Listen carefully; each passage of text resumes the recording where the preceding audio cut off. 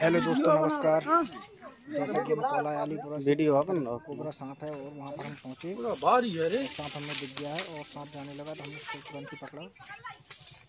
और ये एक इंडियन स्पेक्टिकल कोबरा भारी मोटो है रे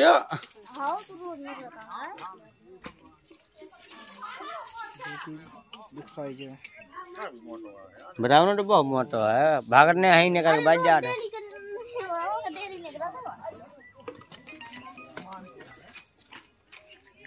और ये अभी केचली केचली में है। जबकि आजकल ये सब केचली में नहीं होते। लेकिन ये केचली में है और ये बहुत ही पुराना नाग है। लगभग इसकी उम्र 20 से 25 वर्ष की होगी। ये अपने का आओ बताओ ना तो। कोबरा सर्प की उम्र 20 से 30 वर्ष होती है। हमारे ऐसे गणित के हिसाब से ये 20 से 25 वर्ष के बीच में हुआ इसकी आयु। और इसको हमने रेस्क्यू किया और इसको हम सुरक्षित पैक करके और जंगल में रिलीज़ करेंगे। और इसे ऐसे इंडियन स्पेक्टिकल कोबरा के बोलते हैं इंग्लिश में। और बिहार में से गेहून के नाम से जाना जाता है। और ये वैसे बहुत ही ज़्यादा जहरीला होता है। इसको हमने पकड़ लिया है। हम जंगल में भी के लिए जाएँगे।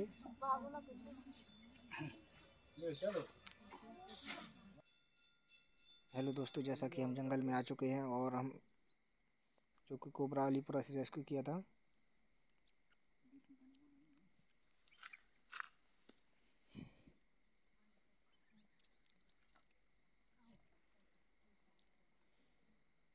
इसका हमने वेट भी किया था कि इसका वेट कितना है। इसका वेट एक के जी तीन सौ ग्राम है। मतलब इतना बिग साइज़ का कोबरा मैंने पहले एक दफ़े और पकड़ा है, ये दूसरी बार है, जबकि इसकी हाइट उतनी ज़्यादा नहीं है, लगभग साढ़े चार फीट का है। मैंने कोबरा और इसके पहले पकड़ा था, जो कि पाँच फीट तीन इंच का था, जो कि मैंने आज तक का सबसे बड़ा कोबरा वही सब सर पकड़ा था, लेकिन उसका वज़न इससे कम था, जबकि ये उससे छोटा भी है और मोटा भी है, और लेकिन इसका वज़न ज़्यादा है।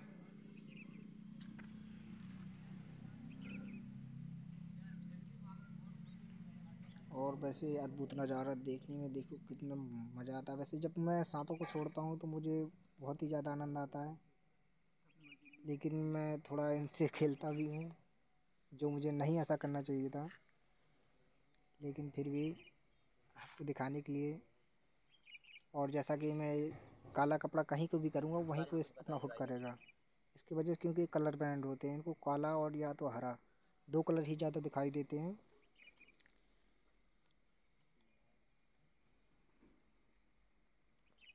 ये सर्प वैसे शांत भी बहुत है क्योंकि ये केचुली में है।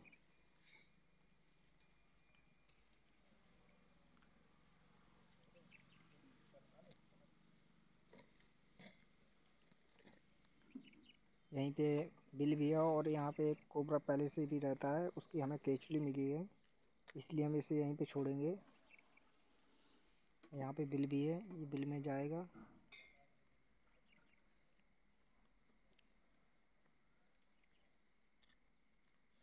और बिल में जा रहा है ये। लगता है बिल इतना ही इससे ज़्यादा नहीं नहीं तो अभी तक अंदर हो गया होता। जी हाँ बिल इतना ही है, नहीं तो अंदर चला जाता।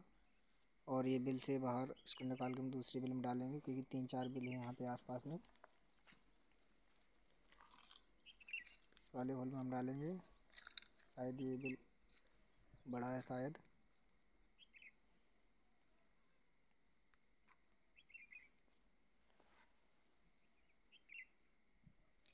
हम इसे इसलिए यहाँ पे छोड़ रहे हैं क्योंकि ये केंचुली में है ये अधिकतर निकल के बाहर बैठेगा। धूप में तो कोई ऐसा ना हो कि कोई इसे देखते ही मार दे, जबकि हम जंगल में हैं, फिर भी इसकी हम सेफ्टी के लिए ही किसी बिल के पास ही छोड़ेंगे। ये बिल भी पूरा नहीं है। चलो हम इसको रिलीज़ कर देते हैं ऐसे ही। जहाँ जाना चाहे तो जा सकता है। हमने थोड़ा झाड़ी में छोड़ा, इसलिए कि जल्दी जा सके यहाँ से। जी हाँ और ये जा चुका है। और हमारी वीडियो देखने के लिए धन्यवाद। ऐसी और वीडियो देखने के लिए हमारा YouTube channel animal rescue team Mahoba को सब्सक्राइब करें, लाइक करें, कमेंट करें। मिलते हैं अगली वीडियो में। जय हिंद, जय भारत।